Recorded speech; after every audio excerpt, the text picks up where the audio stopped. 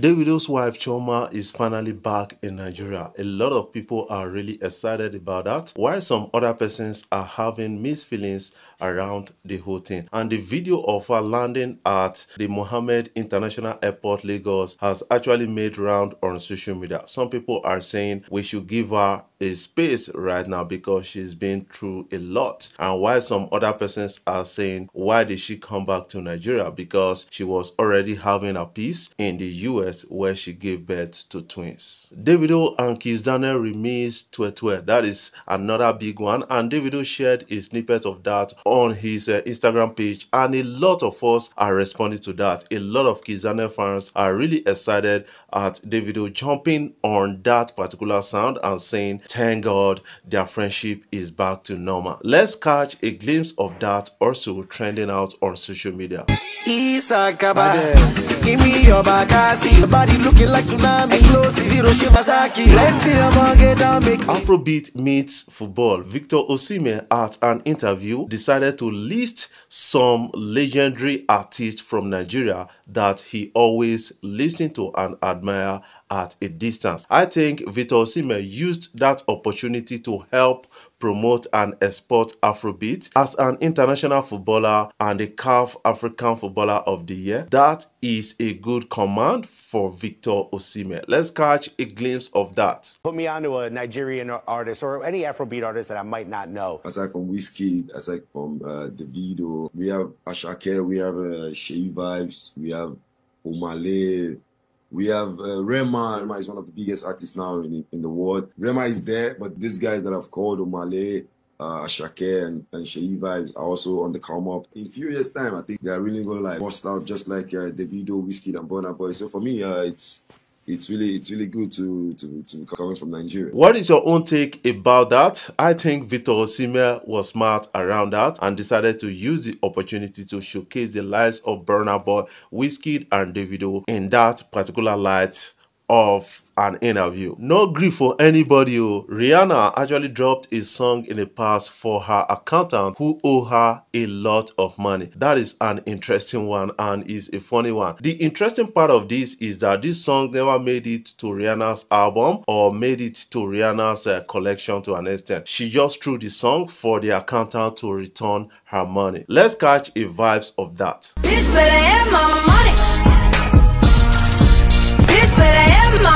In 2024 right now we are saying we not go grieve for anybody when they do us anyhow. That is what it is right now. I think a lot of artists a lot of celebrities out there they still got their funny moment what is your own? You have to put that in the comment section. Burna boy Asake has been nominated for the brit international artist of the year 2024 that is a great win for afrobeat nigeria and a lot of their fans are really excited about that. While some other persons from African countries like Ghana, you know, South Africa, Cameroon, and Uganda, they are not really excited, saying that why is it always Nigeria at the time? You have to understand that Nigeria has made solid investment in Afrobeat, and this is paying off big time, and we are having a great time at it. At that award also, the lives of Rema Scandal, Libianca's People, and Tyla's Water were nominated as the best international songs of the year. And a lot of people are saying these guys did well in 2023 with their outstanding performances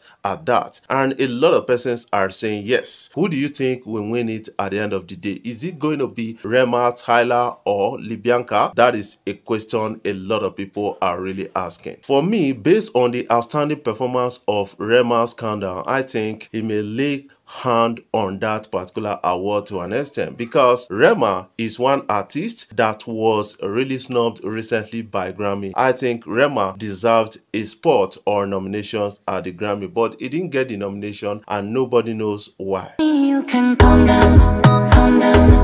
With that song, Rema was able to pull a billion stream on Spotify and somehow some people are saying this is the first time Nigerian African artist is pulling a billion stream on Spotify and Rema deserves a chance at the Brits Award. Odumodu Black shared a snippet of him and Tiwa Savage on a song and some people are calling it dope at a point like this. I think Odumodu Black is the rave of the moment featuring a lot of persons across music industry country from Nigeria to US to Ghana. This guy is having a lot of features right now and he's everywhere. Let's catch a glimpse of that snippet. Yeah, 20 color for my niggas. Nobody can believe this, no, some alone. What do you think of that snippet? I want you to leave that in the comment section. I was in jail for two days. That is Omah Lay recounting his experience in Uganda after the lockdown and a lot of people are really saying that the arrest of Omale and Thames were politically motivated. That is what some persons are saying because immediately they were arrested, we saw some Ugandans, uh, you know, artists and celebrities coming out to mock Nigerian on this. And some people are still asking the question, was arresting Thames and Omale in Uganda right? But I feel that is actually wrong because the organizer of that event is supposed to take responsibilities of everything. He did this recount at a recent interview in UK and that was really a sad moment for most of his fans. Now, I'm using this opportunity to call on female artists in Nigeria to do more collaborations within themselves because I need more support among themselves